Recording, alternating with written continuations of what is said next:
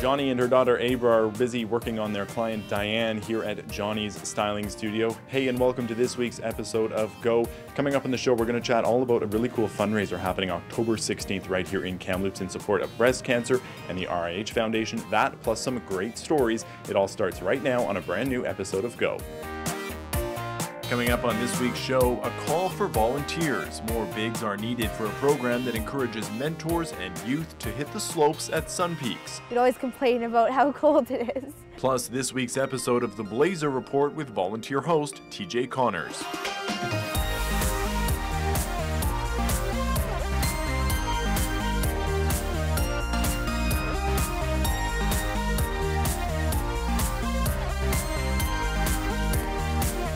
Hey, and welcome to this week's episode of Go Only on Shaw TV. I'm your host, Sam Numson. We're here at Jonni's styling studio. Jonni getting busy in the back there with a client. Coming up on the show, we're going to be chatting about an event that Jonni has started here in Kamloops happening October 16th, the Paint the City Pink Gala in support of the RIH Foundation and breast cancer. So you'll want to stay tuned for that.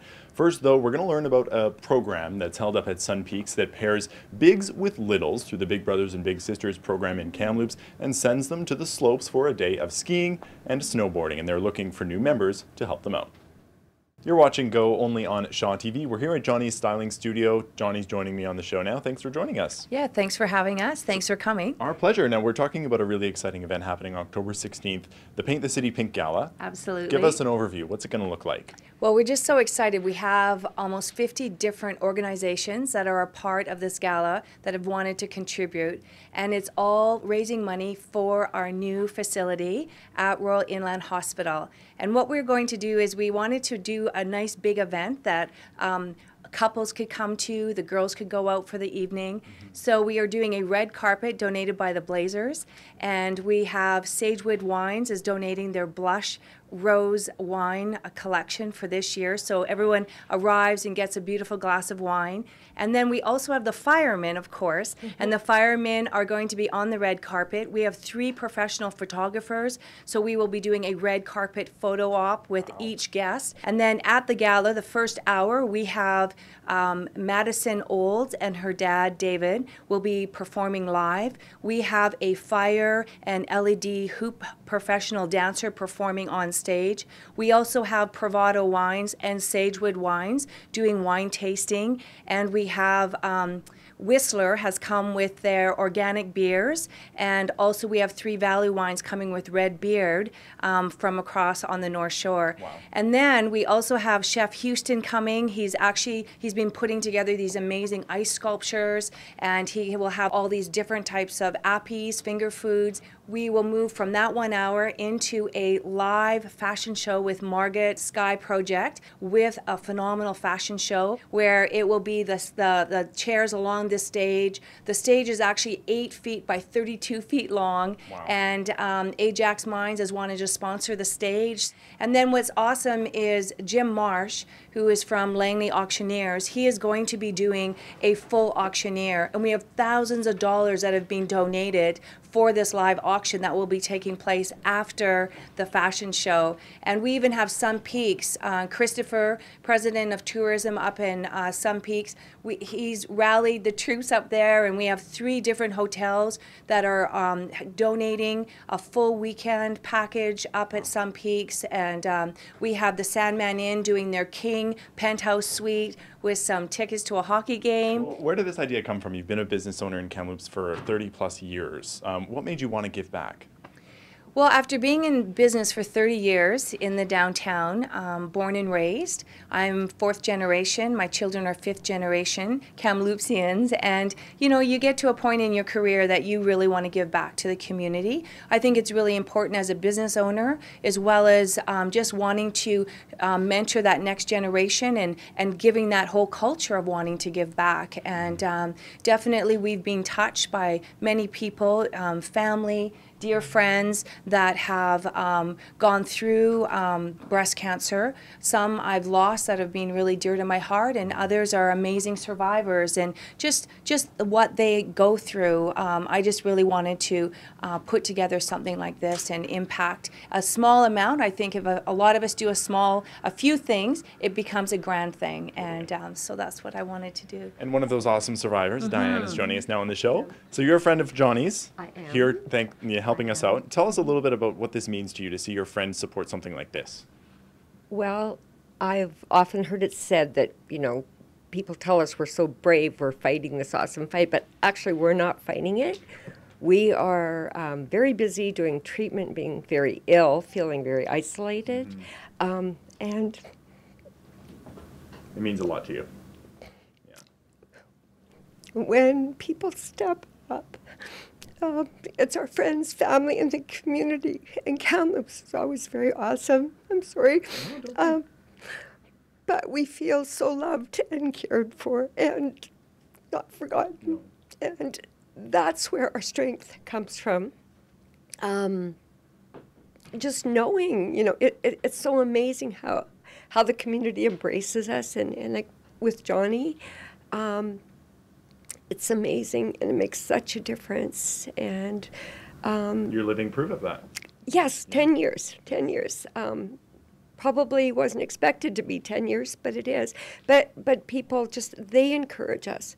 They're, you know, what keeps us going. And we appreciate, it was very exciting to hear about the new uh, rapid access Yes. um, breast cancer because time is of the essence. And once you're diagnosed, you want to move quickly. Mm-hmm.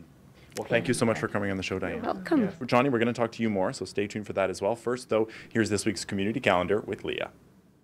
Welcome back to Go here from Jonni's Styling Studio. We're talking all about the Paint the City Pink Gala happening October 16th. Uh, Heidi joining us from the RIH Foundation. Thanks for coming on the show. Oh, of course, my pleasure. Yes, so tell us a little bit about what this fundraiser uh, will make possible for you guys down there. So finally, I can say that we're going to be opening this rapid access breast health clinic in the new clinical services building. That's the big building we see being built.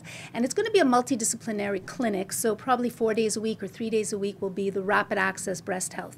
What that means is a woman gets a call from Screening Mammogram, which is across the street near the Starbucks, and she's told listen, we see something suspicious. We're not sure. We need you to go to RIH and get another breast exam. And so the woman, you can imagine, where she mm-hmm. just hears, wow, it's terrible. And so RIH will call right away, but they'll say to you potentially, well, we could see you in three weeks for your second mammogram. It could be four weeks. And so that, that's crazy. So what we want to do, and this is really spearheaded by Dr. Robert Calistro, who's the head of uh, radiology. He's a Kamloops boy. He said we want to have a clinic where you call they call you and they say can you come in tomorrow or the maximum would be 4 or 5 days. So you come in the next day, you get your second first you see a GP in the clinic, not your GP but a GP who's doing breast health and then you go to have your mammogram, your second mammogram. Results are like within 5 minutes. They either say to you you're good, there's nothing or we do see something we'd like to do a biopsy and can you come back at 1 o'clock this afternoon, which is incredible. And from that biopsy it will be 1 week for pathology and in one week you will have your response. So it's about anxiety. It's about just having a clinic just for rapid access breast health. You come in, imagine a very beautiful space, nicely decorated, where women can get the results that they need within a week. And uh, we don't have that here. It, it exists other cities. We just don't have it here yet. And so we want to change the way uh, women are treated when there's a potential for, for breast cancer. And we know it's still happening quite a bit. And so this would, would majorly help you guys do that. Now, maybe can you comment on the, the importance of making the experience as positive as it can be? I mean, it, like you said, it's hard and probably scary for these women. Doing anything to kind of alleviate that is probably a huge help. Right. Well, what I hear from most women is once I knew that I had breast cancer, the treatment and the care that I had was unbelievable. It was exceptional. We have a beautiful cancer center on the eighth floor, so if there is chemo or whatever has to happen, but it was the waiting and the anxiety that was unbelievable. Because they said, you know, if I have cancer, then I have to get my kids in order. I have to, you know, rearrange my life. But waiting and not knowing. So already you're waiting. Of course, you think you have cancer, and you're already burying yourself sometimes. You know, God forbid forbid, but it's it's just not being in control. So the results are, you know, when you when you uh, find cancer quickly and you can deal with it, it it's just makes everything, the whole family and the woman feel much better. So we just want to take the part that we can take away, which is the anxiety. We want to remove that and get the results so the person is in charge of their life. So the Paint the City Pink Gala happening October 16th. What's the importance of this fundraiser and other fundraisers like it for what you guys do? It must really make it possible. Well, of course, it makes everything possible. Possible and what is great is that RIH Foundation, we do three events of our own.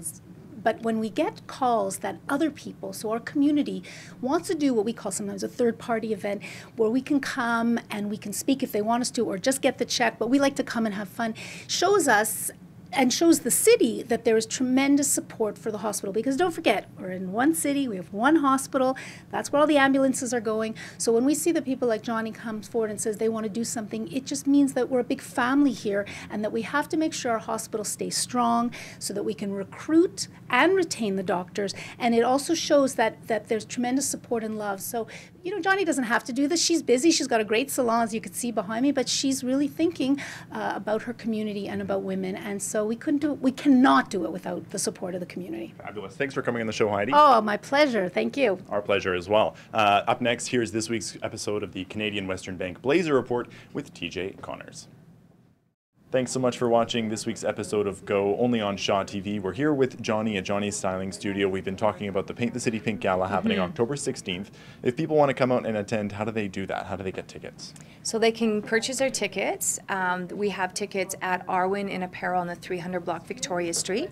The salon here is above Peter's Pasta across from the Royal Bank on Victoria Street. And then also the Doubletree by Hilton, which is the old Coast Canadian Inn downtown. So those are the three different locations locations. If you um, work at the hospital and you're wanting to get your tickets up there, um, Heidi Coleman also has tickets there as well.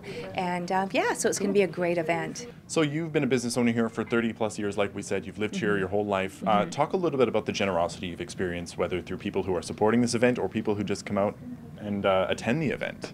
Yeah, I love I love Kamloops. You know, I've been down at the coast for eight years, and now I've been back for the last three. And I kept my salon going while I was away, and and I just really felt that you know there's such a loyalty, there's such a, um, a giving heart of the community of Kamloops.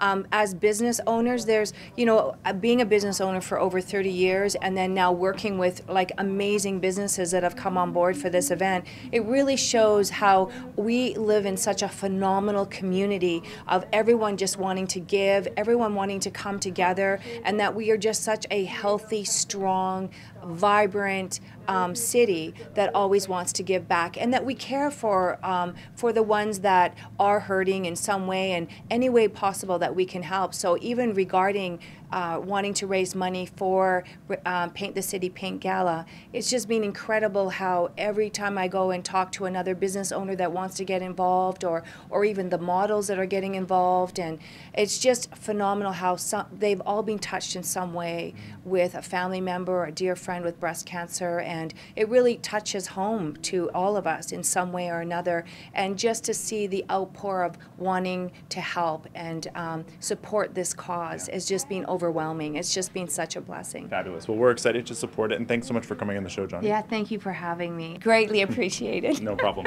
Uh, that is it for this week's episode of Go here from Jonni's Styling Studio. Thanks so much for watching. Uh, it's happening October 16th, the Paint the City Pink Gala. So if you want more information, you can find their Facebook page We'll put the link here on the bottom of the screen. You can also find out more information about the RIH Foundation on Facebook, and they're also on Twitter, so you can check them out there. That is it for us this week. I'm your host, Sam Numson. We are online as well at Shaw TV Kamloops on both Facebook and Twitter. We'd love to interact with you there. And if you want to watch a story that you've missed, you can find us online, www.shaw.ca slash shawtv slash Kamloops. Thanks so much for watching. We'll see you next time.